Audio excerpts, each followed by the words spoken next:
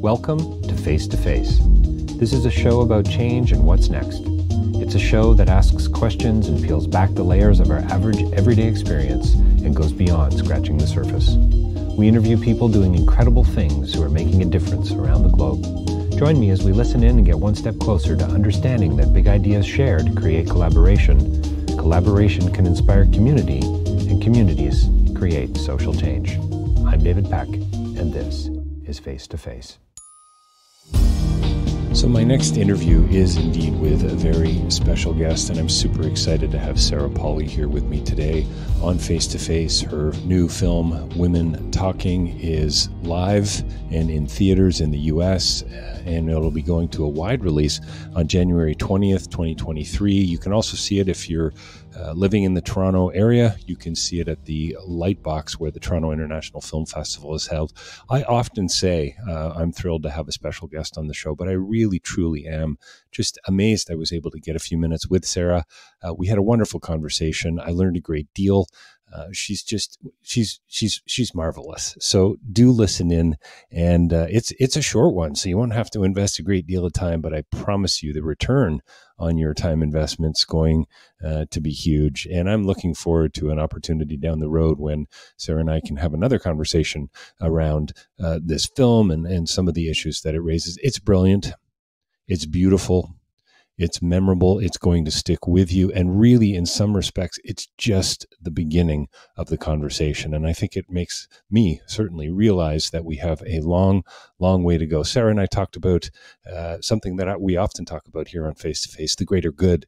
We, we talked about inspiration. We talked about um, curiosity and, and grief.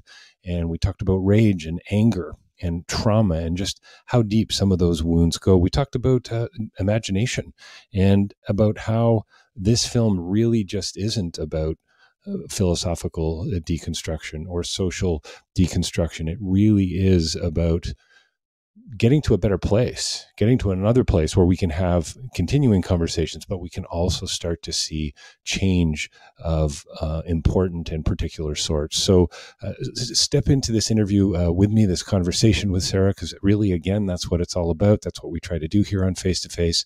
And make sure you get out to see this film. Uh, it's she's uh, Sarah's been nominated for a Golden Globe. There's talk of Oscars uh, nominations. It's just brilliant. And again, so thrilled to have her here on the show today. DavidPeckLive.com for more information about my writing and my speaking, and also about my podcasting. It's all there.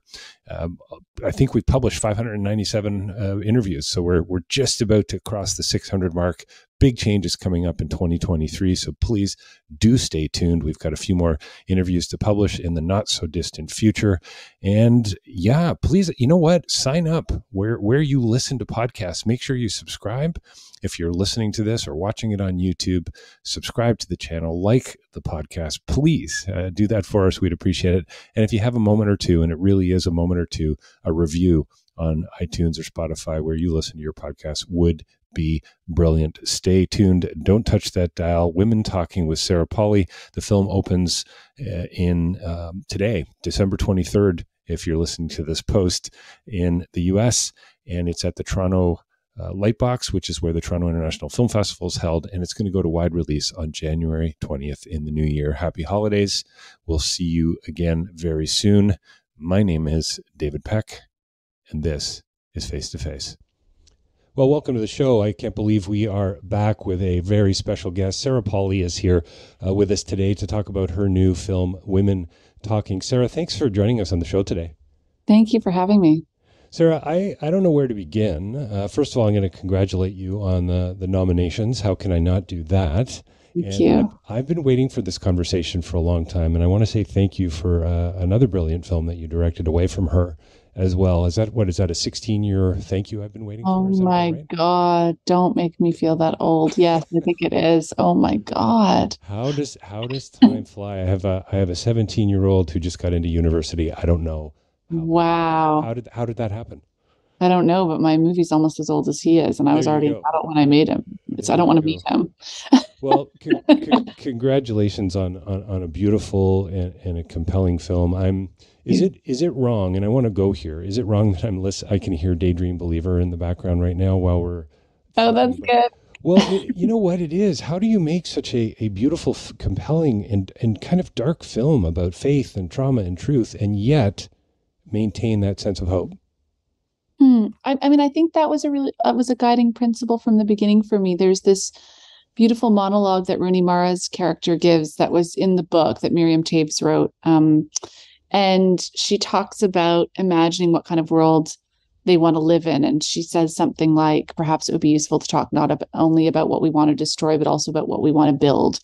Um, and that became a kind of guiding principle for me in terms of thinking about this film that yes, the women who are in this hayloft debating what to do about this series of attacks on them have been through enormous trauma and harm, but ultimately what the film is about is is how they work together and how they process it together and how they move forward and imagine the kind of world they'd like to live in. So I, I couldn't help. My background is in. Uh, you know, I've been reading and studying philosophy for years. I couldn't help but think about that sort of postmodern deconstruction. You're doing in this film uh, to, to patriarchy and to to to roles, gender roles, and and and so on. And I'm I'm fascinated by that guiding principle. It sounds like um, mm. hope and love were kind of a continuous thread for you. I think so. I also was really interested in, you know, these women have a very deep faith. And instead of sitting back and judging that faith, I was really interested in trying to get close to it and meet them on their own terms and express what that faith felt like to them. Because ultimately, I think that's the anchor they have as a community to be able to have this wild imagining of what a world without this kind of harm would look like and how to build it. Do you think the the conversations, without giving you know away too much about the film and so on, but in the story, but do you think do you think the community, the conversations they have, the sense of urgency and the import of them is is a testament to the community that they've already built together? Does that make sense? Like, like yeah, I, I mean, I, the sense that oh, we we weren't educated. Well, hang on a minute here. you mm-hmm. guys you guys have a really good handle on what's happening here and you're stepping mm-hmm. into your future. You know, do you know what I'm saying? Yeah, I mean, yeah. it's interesting. Um, I do think that everyone is built to be um, involved and engaged in a democratic process, no matter what your background or how much education you have. And certainly in the case of these women, you know, there are these deep connected relationships and this very intense, strong sense of community and of the collective and of the greater good and not just a focus on individualism which i think is what ultimately leads them to be able to imagine a future together because they're not thinking only of their own interests there's a there's a the, the sense of humor that they have the their anger the, the the the trust i suppose and the truth and the vulnerability of it all i mean for me uh, it seems to me as a as a i hope as a friend and a father and a partner that that that's what it is about, about for me as well. Would you say that's a real takeaway? It's about stepping into relationships that we can trust more, that we can be more vulnerable in? Yeah, I mean, I think also really trying to understand each other. I mean, I think mm. that in this film, there are women who are having to work alongside each other who fundamentally disagree on some very big things. Oh, yeah and they have to keep working together and they don't have to agree on every single issue in order to do so and i guess i sort of feel like we've come to a time where we we do feel that we have to agree on every single issue in order to not just work with people towards progress but to even be in the same room as a person. And i feel like what was inspiring to me was this very democratic process that these women go through in trying to find what the common ground is and acknowledging where there are distances and taking responsibility for harms done not just by uh, by the perpetrators to them but also what they have done to each other. Um, i found that really exciting about this book and and really excited about make, making that into a film it must have been did you ever find um, hmm, can, can I ask about your melancholic side? Did you ever find did you ever find yourself sort of spiraling towards a, a more negative interpretation of, of the story and the way it's presented? Because I, sh- I sure don't get that, even though the, the tones are there. It seems I didn't. I mean, I always saw this as kind of an off ramp for, I mean, I feel like grief and rage are really legitimate places to go um, in the wake of this kind of trauma and this kind of horror. And I was also really curious about the fact that it offered something else as well. like an off ramp and a sense of of building things and of imagining things and of working together to find solutions to things. The phrase uh, created and ordained by men, I believe, is, I think it's your phrase in, in the film from the, from the screenplay itself. I can't remember the character. I think it's in the book from the book. Yeah. Yeah. Yeah. yeah. A more equitable uh, place. Uh, is, is it, is it really about that sense of building more of a community, the sense of that continuous thread of love, I suppose, and being, there's, there's a moment where August is told to shut up and listen. And mm-hmm. I wonder if that's also sort of a, a, bigger theme for for people like me who want to help and kind of, in mm-hmm. some respects, don't know how. So funny. I, I remember when I wrote that line that August says, where he says that you know who's the the man in the room who is actually trying to be helpful and trying to make space for the conversation and be of use. And there's this moment of helplessness where he says, you know, I, I want to help, but I don't know how.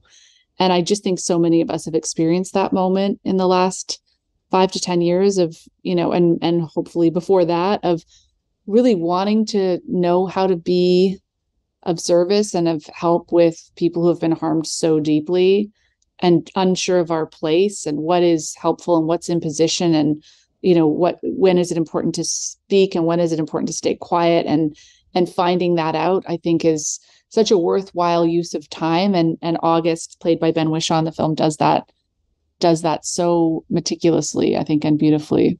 Yeah, he really does. Uh, I, I, hate to say last last question, and there's not a quick answer to this one, but the stories that you tell, um, do is this about? Uh, Richard Wagamese said the stories are meant to heal. Is mm-hmm. that why you are a director? Would you say is it why you tell stories?